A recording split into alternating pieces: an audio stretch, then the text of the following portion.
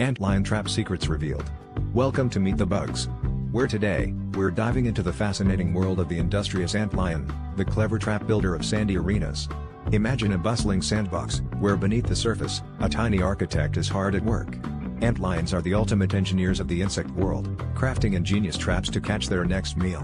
With a flick of their tiny mandibles, they create perfect, cone-shaped pits in loose, sandy soil.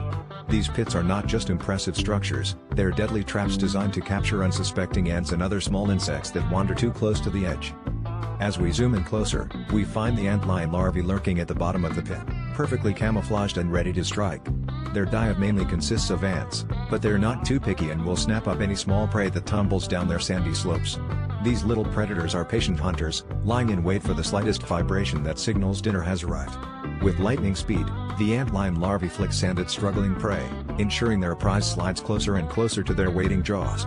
It's a sandy showdown that demonstrates their remarkable hunting prowess. Now, let's talk about the antlion's unique life cycle. After spending months as a fearsome larva, the antlion undergoes a dramatic transformation. They weave a silken cocoon, nestled safely in the soil, where they pupate for several weeks. Emerging as a delicate adult with slender wings and long, graceful antennae, they resemble dragonflies but are far less known. As adults, they leave behind their hunting days and focus on finding a mate to continue the circle of life. Their adult stage may be short, but it is crucial for the next generation of pit-building prodigies. In the grand tapestry of the ecosystem, antlions play a vital role. By controlling ant populations and serving as prey for other animals, they help maintain balance in their sandy habitats. So, next time you're at the beach or in a sandy garden, take a moment to marvel at the tiny yet mighty antlion. With their clever traps and fascinating transformations, they remind us that even the smallest creatures can be masters of their environment.